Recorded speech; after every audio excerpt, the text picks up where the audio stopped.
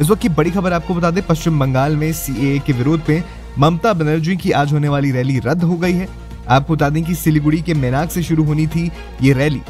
इस road show में ममता बनर्जी ने हिस्सा लेना था, हालाँकि अब बताया जा रहा है कि ये रैली और रोड शो रद्द कर दिया गया है। इसके पीछे कोई आधिकारिक कारण नहीं बताया गया है।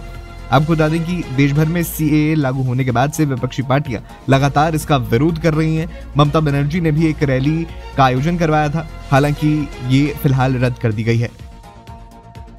इस वक्त की बड़ी खबर आपको बता दें, पश्चिम बंगाल में सीएए के विरोध में ममता बनर्जी की आज होने वाली रैली रद्द हो गई है। आपको बता दें कि सिलीगुड़ी के मेनाक से शुरू होनी थी ये रैली।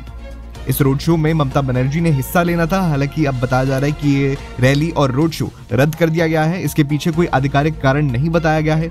आपको बता दें कि देश भर में सीएए लागू होने के बाद से विपक्षी पार्टियाँ लगातार इसका विरोध कर रही हैं। ममता बनर्जी ने भी एक रैली का आयोजन करवाया था। हालाँकि ये फ़िलहाल रद्द कर दी गई है।